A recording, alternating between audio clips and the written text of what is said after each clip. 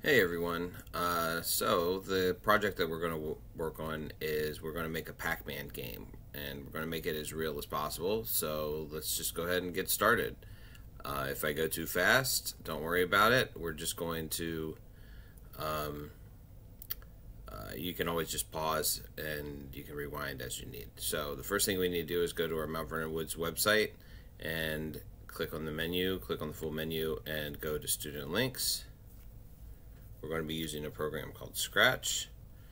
So Scratch is down here in the technology section. It's the one with the cat on it. So I'm going to click on Scratch. Okay, uh, we're not going to use this cat, so we're going to get rid of this cat. And the first thing that we probably should work on is the background. So we're going to go over to this stage and see where it says backdrops. So we're going to go ahead and click on this backdrop and we're going to paint our own. Okay. Um, there are two different types of drawings that we can do. One is called bitmap. It's not as uh, clean as the as vector. This it's currently in vector. We're going to get rid of backdrop number two. We just need backdrop number one. And uh, but we need bitmap because so you could do some things in bitmap uh, first. So we're going to fill, we're going to go to, go to bitmap, and then we're going to go to fill, and we're going to change our color to black, and we're going to fill our whole screen in black, because that's the way a Pac-Man game looks. Um, so the next thing we're going to do is we're going to go back to vector, and we're going to pick the rectangle, we don't want anything filled into our rectangle. We want it to be empty. And we want the uh, outline of our um, our walls and things like that. That's what we're going to start drawing first. We want it to be kind of a deep blue. So you can see that as I move these around, this changes the color of the outline and we want it to be kind of a deep blue like that. So you just kind of have to play around with it a little bit. If you really wanted to look for the colors that I'm going to choose as far as the the colors for the walls that I'm using uh, you can you can look at these numbers that I have here. This is 67 this one's 100 this one's 55 and that one looks like a nice blue. So we're going to try that out and we'll see how that goes. Alright so we're drawing drawing a rectangle. You hold the Oh, we need to change the thickness of the walls to probably about 15 is probably okay. So, um, we don't want to go all the way to the walls or all the way up or all the way down. We're going to leave a little tiny bit of space for the score bar. And then we're just going to draw one big rectangle. We can go all the way to the side. Let's try it again. There we go. There, that should do it. Now, if you remember the Pac-Man game, the classic Pac-Man game, we have some uh, where they have the extra lives and stuff like that goes down here. So that's something that we're going to have to uh, leave some space for also. Okay, so that looks like this is what it looks like when it's in the game. This looks pretty good, so we're going to stick with that. Um, we need to just click off of it so that it kind of locks in and then click back on the rectangle again because we're going to do we're going to do quite a few. So um, now that I've drawn one, I want to keep it the same color. This is really important because our Pac-Man relies on the color. So I'm going to use this button. This button uh, helps me choose the exact same color I did for this for the previous rectangle. All right, I'm going to draw another rectangle inside this rectangle. And I want to make sure that I'm leaving enough space for my Pac-Man to move. Now, I know you don't know how big your Pac-Man is going to be, but it's going to be, you know, the Pac-Man size. So, like, you want to make sure that you're leaving yourself a little space. And it has to be the same amount of space, roughly. Oops. Uh, you can see I forgot to take the fill off. So if I make a mistake, I can always hit this undo button. And then let's try this again. And Let's see, that looks pretty good. So that looks like I'm leaving about the same amount of space on all sides. Maybe this is a little bit narrow on that side. So I could grab my arrow, and that will allow me to move this around a little bit. But really, the important thing is that I'm leaving the same amount of space. If I need to adjust a little bit, I can adjust a little bit by moving the sides too. Alright, so that looks pretty good. That looks like enough like a real Pac-Man game would have. And then I'm just going to do two more. i do one. Now, you, again, you want to make sure that they're they're evenly spaced as best you can, because if you don't, when you draw your Pac-Man, or when you make your Pac-Man game, he's not going to be able to move around. If you make it too narrow, he's going to get stuck, and we don't want him to get stuck. And if you leave too much space, you could get in trouble too, because the codes will get all messed up. So we want to try to do the best we can. Uh, if you want to go a little bit simpler, I'm drawing, uh, I'm going to draw four rectangles in total. If you wanted to do less and do three, that would be fine. Okay, this last one is going to be, um, this last one is going to be really for the ghosts, okay? So...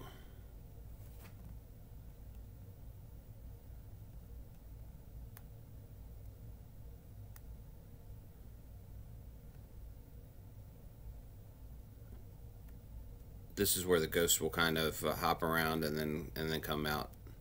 All right. All right. So far, so good. So this kind of looks like the beginning of a maze.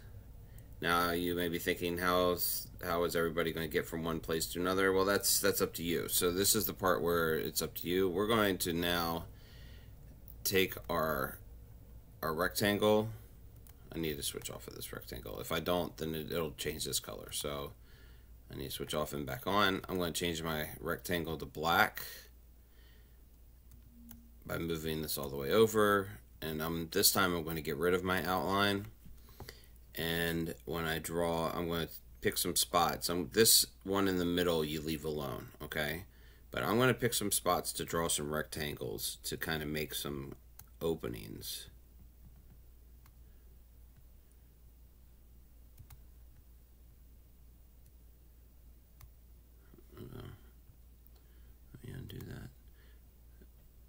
See. So I want to make some openings that are big enough for my Pac-Man to go through and the ghosts to go through. And if I like that one, which I do, I'm going to copy. That looks like it's the right amount of space so that it's not going to lock everybody up. And I'm going to put the, a couple of these throughout my game so that there's uh, places for my Pac-Man to go. But you don't want to put too many in there that it's not going to be a challenge. So I'm going to paste another one and then move it around. And it's kind of nice to have some symmetry so that it's the same going left as it is on the right. It just makes it look better. But you can see over here this is kind of a preview of what it's going to look like. That looks pretty good. This one probably needs to be moved over just a little tiny bit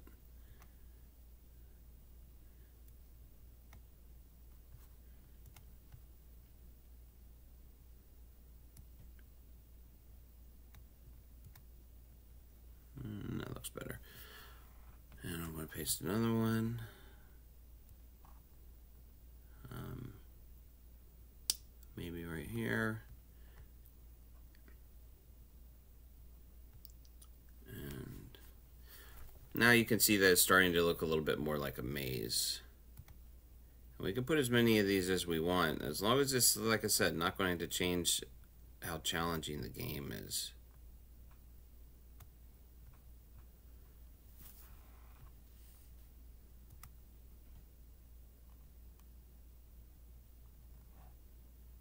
And you can put them, you don't have to put them where I'm putting them. You can put them anywhere you want. It's your game. You do what you want. Alright, be creative. Um, let's see, so I'm thinking I'm going to put maybe a couple in this one here. And then that should be enough.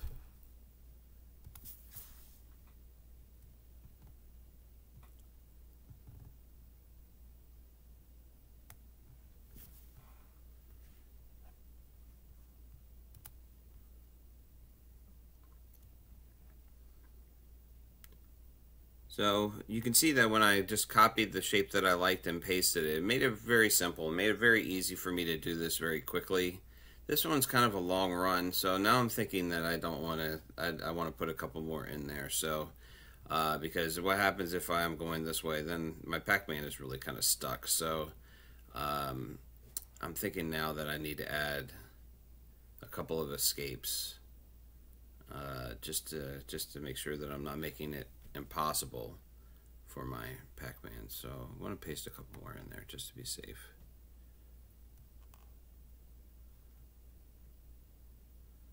Maybe just one there. Uh,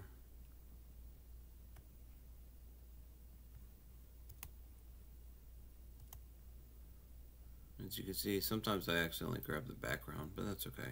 We just go back and undo it.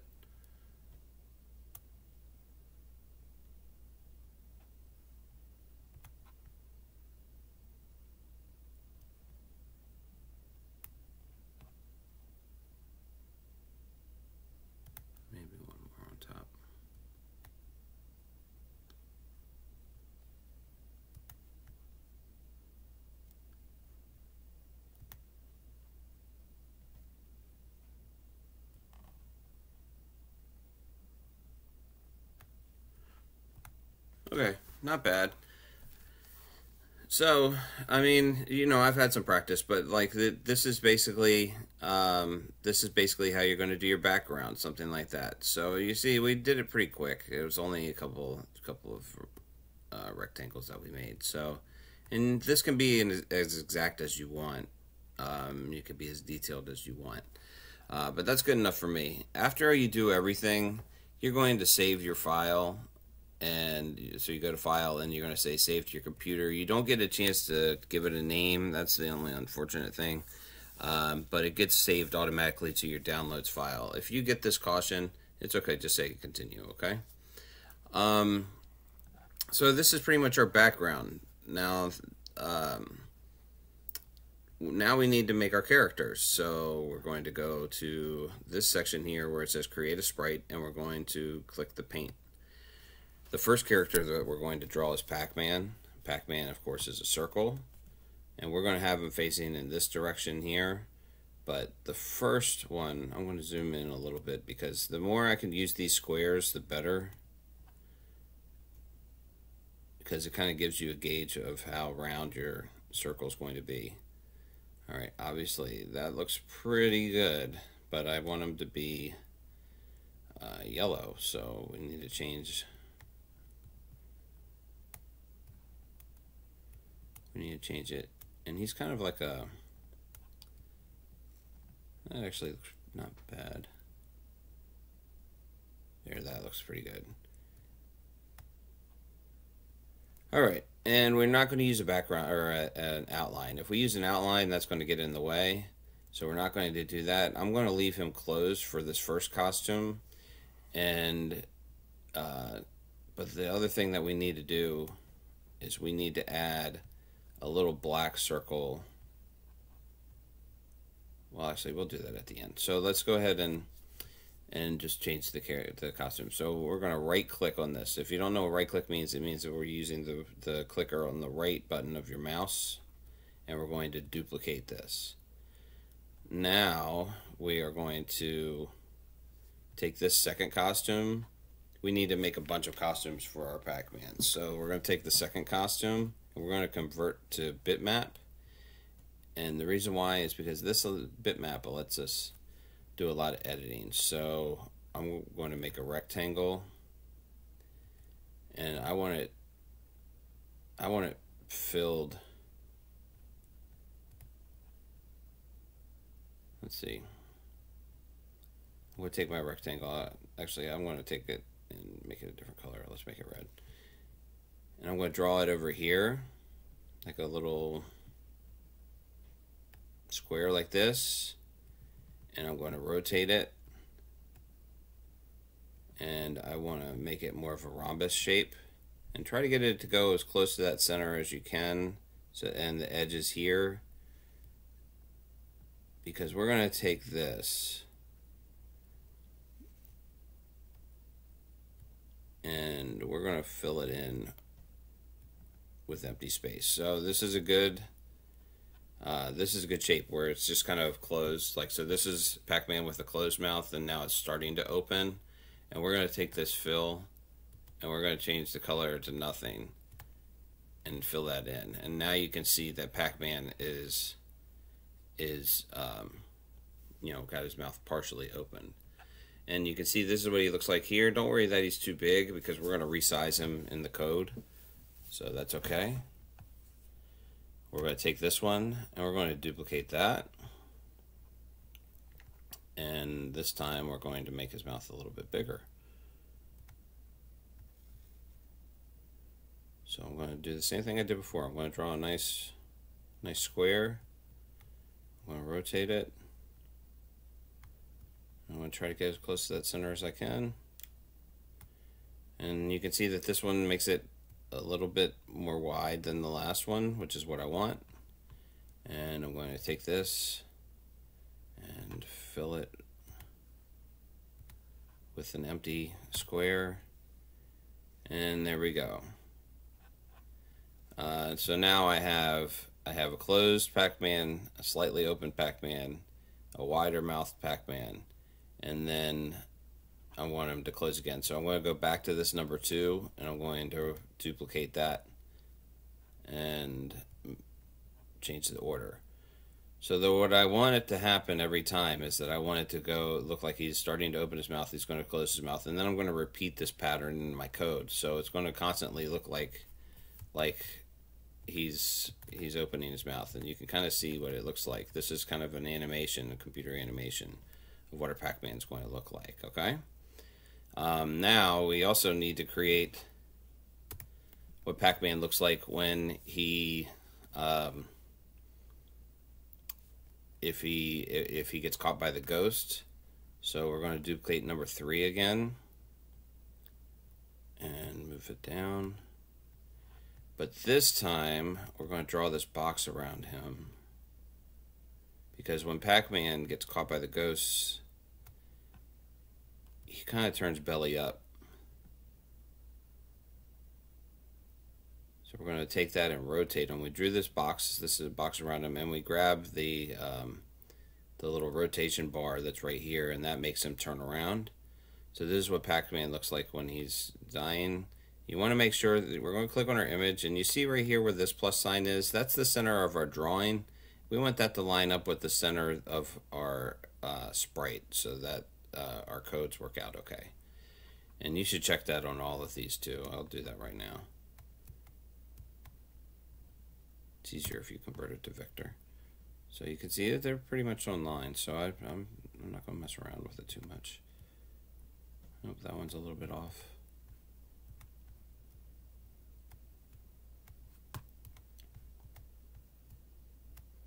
Okay, so all right, so back to our, our dying Pac-Man. So our dying Pac-Man is going to look like this. We're going to duplicate this one. And this time we're going to do that. Change the color.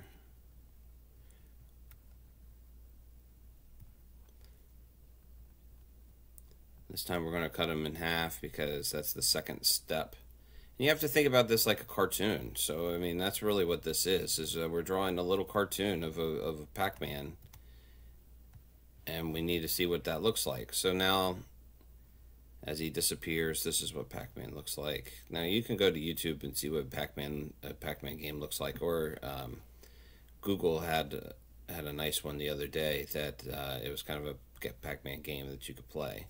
I think it's more fun if you can actually make it. So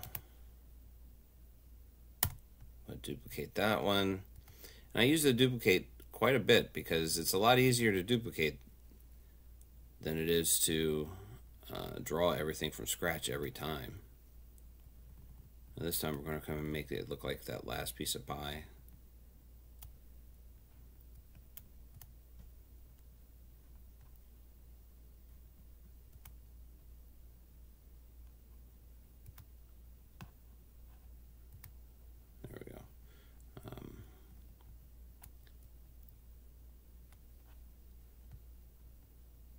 draw another one right here.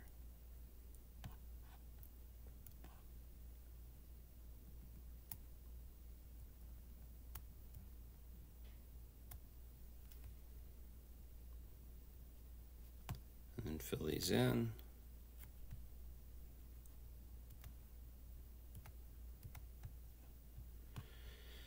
And then the last one that we're going to do, well, actually, we got to do two more. So the last one, he looks like just a little bit of a line. So we're going to kind of just leave it like a little tiny line. Like that.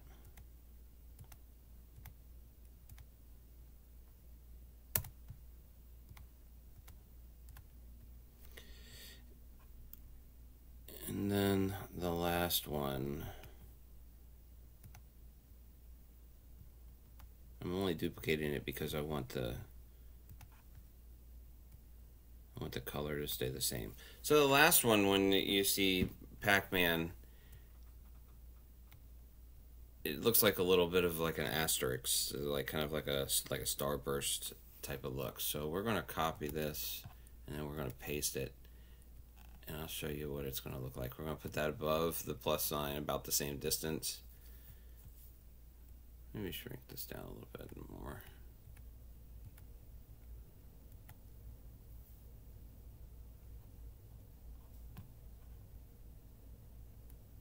Uh, I don't like that. Let's put that back. All right. And then we'll paste another one. I'll rotate it around.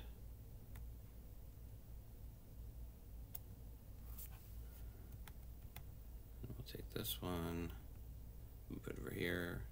You can see what it looks like over here. So don't forget that you can see. And again, don't worry about the size because we're not we're not really worrying about the size right now. Only thing we care about is the pictures. We're going to resize it based on what we need later.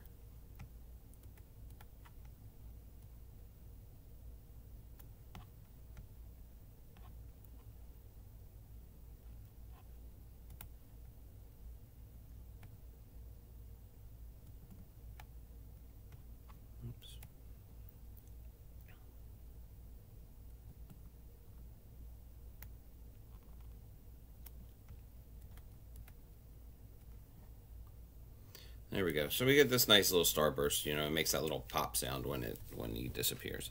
And that's pretty good. This is what we want. We want we want Pac-Man to look kind of like this when he, when he disappears, okay? All right, I like what I've done. I'm going to save it.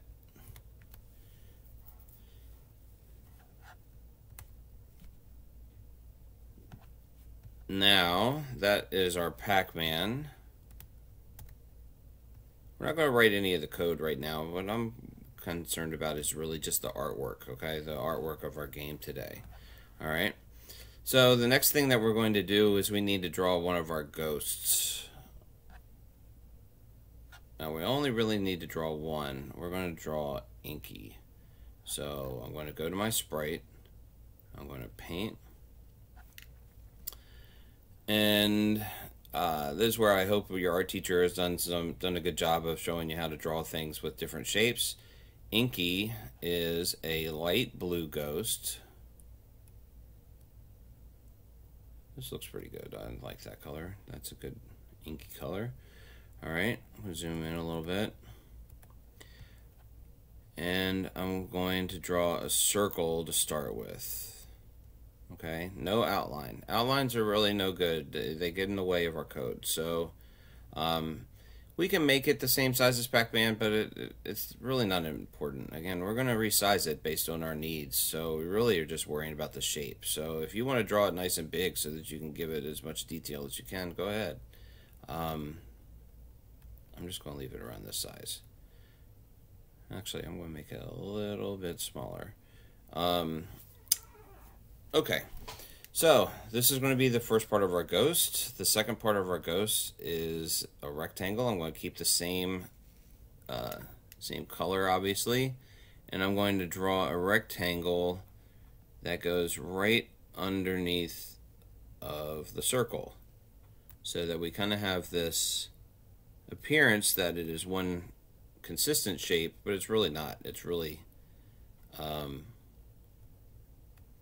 it's really two different shapes. I want it to be a little bit short because we're still adding a little something to the bottom of this, and we don't want it to be too tall. All right. Now the third thing to make the ghost in the classic Pac-Man, what we're going to do is we're going to draw some circles on the bottom. Just about three of them. And we want them to be about the same size, so I'm just going to go ahead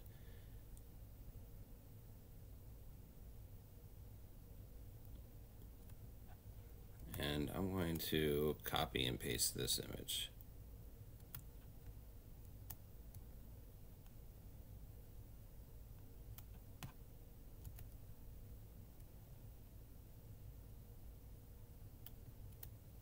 All right, and this is kind of the classic shape, but I know I'm not really happy with that. I'm going to make these a little bit longer.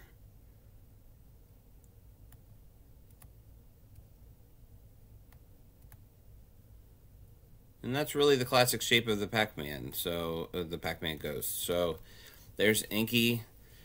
Now, another way that we could do this, and I'm actually going to I'm actually going to do it a different way. So I, because even though this is the way the classic looks, I'm not really, I don't really like the way that looks. So I'm going to go ahead and take those back. And I'm going to show you a different way. I'm going to make this rectangle a little bit longer. And then I'm going to convert this to bitmap. And this time I'm going to take my circle and change that color. And for me, I like this a little bit better. I'm going to take these shapes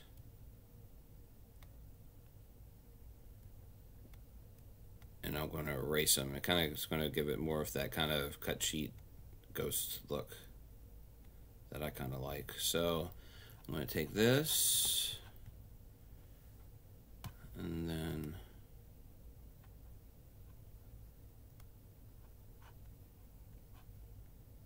I'm going to fill it like that.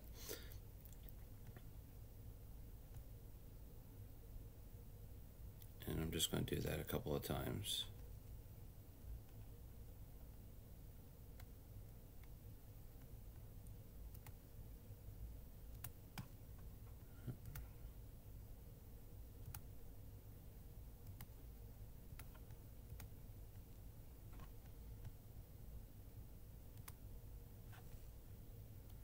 Time.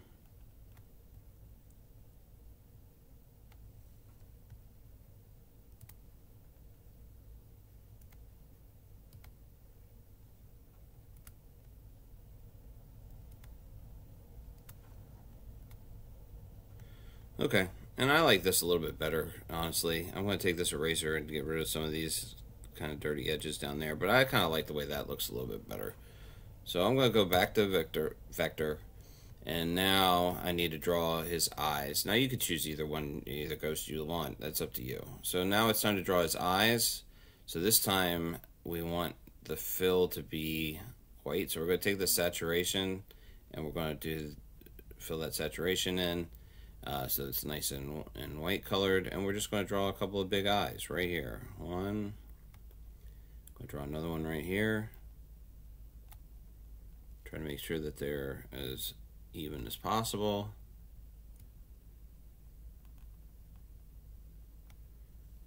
Okay, very simple. Now we're going to take, we need to do some pupils, so we're going to make those black. And we're just going to put them right in the middle. Mm, that looks pretty good. Actually, so that I'm not messing this up, I'm going to go ahead and just copy and paste that so that they're both the same size. Because if they're not the same size, it can look really awkward.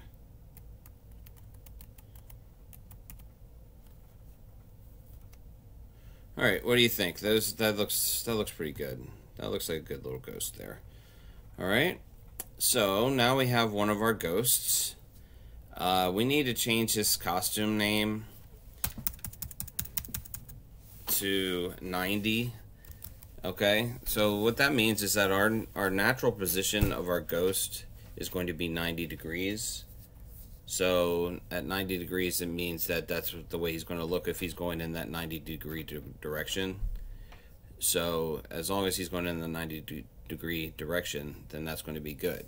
Um, we're going to duplicate this ghost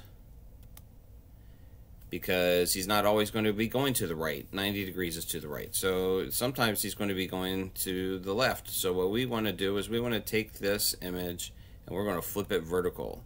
And if he's going in and, and we're going to change this to a negative 90, a minus 90. For those of you in third grade, you may not know what negative numbers are, but uh, negative numbers means in this case, well, for coding, we're going to the left, okay? So if he's going to the left, he's going to, he's, we need to change the way his costume looks. This will make sense next week when we go over the coding, all right? Um, we need two more because sometimes he goes up and sometimes he goes down. In Scratch, if he's going up, it's going to be zero degrees. So we're going to go back and we're going to duplicate our 90 because that's our original. And I'm going to change this to zero. Uh, now for zero degrees, we need to change this to bitmap. And we need to draw the box around our ghost. And we need to rotate him so that he's going in this direction. So again, if I'm going to, we need to change this to zero. If he's going up, our degrees is zero. So you have to understand, like, if he's going in this direction and he's supposed to go up, his costume's got to be rotated around. Otherwise, when he travels, he's going to look like he's going sideways. So we just want to make this the best one that we can. And sometimes he's going to go down. So we're going to copy this one and we're going to flip it horizontal. So now he's going in that direction and that would be 180. So 90 degrees is right, 0 degrees is up, uh, 180 degrees is down, and 90 negative 90 degrees is to the left. So now we have all of our ghosts. Right now, we're not going to do any more ghosts because it'll be easier once we write the code to just copy this guy and then and then change the colors. We'll fill in the colors later. So right now, that is it. I am going to stop right now. We're going to save to our computer. If you needed to stop halfway through your programming or or drawing and you needed to stop, you should always save after everything. And then if you wanted to load it back from your computer, you just go to File and you say Load from your computer. And you'll see right here that I have a billion Scratch projects and they haven't been named, okay? The ones that you would want to do are going to be the Scratch projects and each one, each time you save, it gives you a different number. You want the one with the highest number. That's the latest one that you've done, okay? So you're going to do Scratch project number two for in my case because that's how many I've saved. I saved it three times, so this is the original, and this is the second time I saved, and then this is the third time I saved. So this is the the biggest number of my projects. So I would just load from here and then it'll load up your old program. Um, so for right now, this is all we're going to do. If you need help, you can rewind and you can schedule office hours. You do not need to schedule office hours unless you need help. Um, that's what the office hours are for. They're they're not. You you don't fill out that form unless you need the help. I hope you enjoy making this. Next week we will go over the codes. The codes are really long, so uh, I hope you're ready for it, but I think that you'll be happy once once you're done.